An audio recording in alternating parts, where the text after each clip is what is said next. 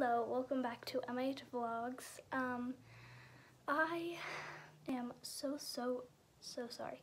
I forgot to do a memory verse challenge yesterday. This has been the first time in a while, and yesterday I just had a lot going on. My friend was over.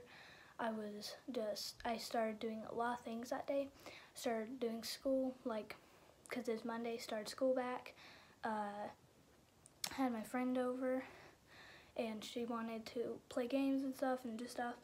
Uh, and then I started to work out for gymnastics, and so I just had quite a bit going on. And just like slipped my mind. I was so tired yesterday, and I've been having to practice my handstands and stuff because that's what we're practicing the most. Because I think if I, like, I can do a handstand, but I need to be able to do it where I can stay up. I need to build, like, up my, my upper body strength.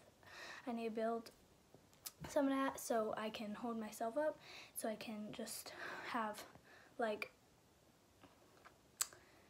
be strong enough to do a handstand and stay up. And I've been doing a lot better, so I'm really excited about that. But like if I move up, I'm not gonna be with the person I'm with right now that's teaching me. She is so nice and like she makes me feel com comfortable and stuff and I just really would hate to leave her but I'm gonna be training with a few more girls my age probably if I move up and I'll be training in a bigger gym. So I'm excited about that. There's bad things and good things but yeah. Um, okay, now let's do memory verse challenge. Um, what I do if I ever miss a day, uh, like if you don't want to read like extra today, you can just use um, Mondays and just start like today and do Mondays, Sunday, if you know what I mean. I'm probably very confusing. I can't explain stuff good, but okay you could do this since I didn't do a video and if you don't want to read both of these today, you can just do this Sunday because we don't read Sunday.